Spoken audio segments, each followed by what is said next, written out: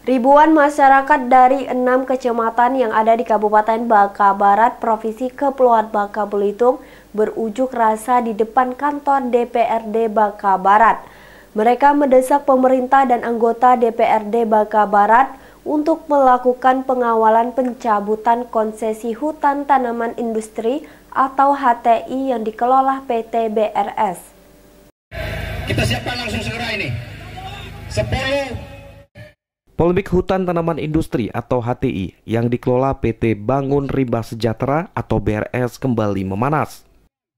Ribuan masyarakat dari enam kecamatan yang ada di Kabupaten Bangka Barat berunjuk rasa di kantor DPRD Bangka Barat pada Selasa 2 Juli 2024.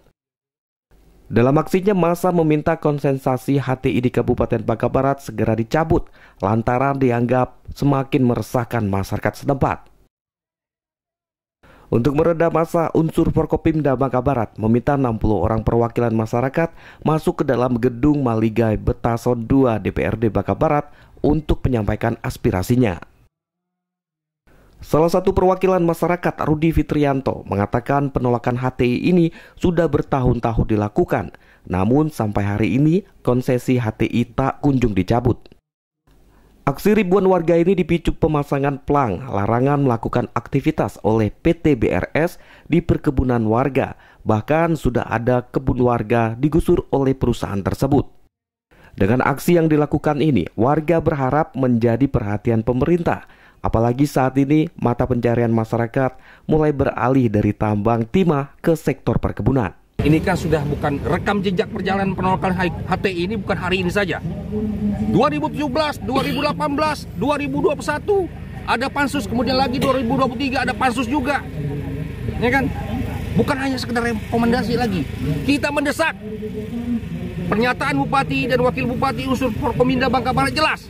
Hari ini menolak dan mencabut segera konsesi HTI yang ada di Bangka Barat. Oh ya, Bang. Sementara itu, Ketua DPRD Kabupaten Bangka Barat, Marudur Saragi, mengatakan akan mengawal aspirasi masyarakat ini di tingkat provinsi hingga kementerian.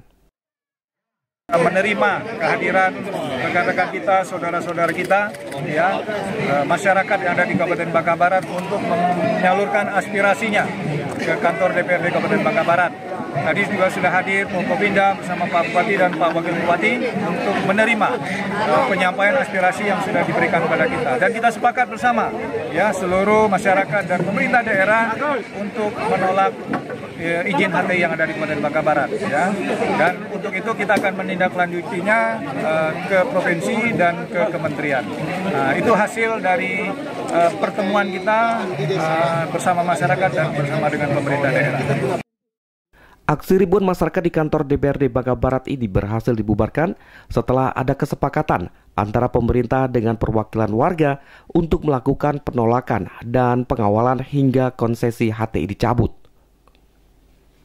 Dari Bangka Barat, Bangka Belitung, Oma Kisma, iNews melaporkan.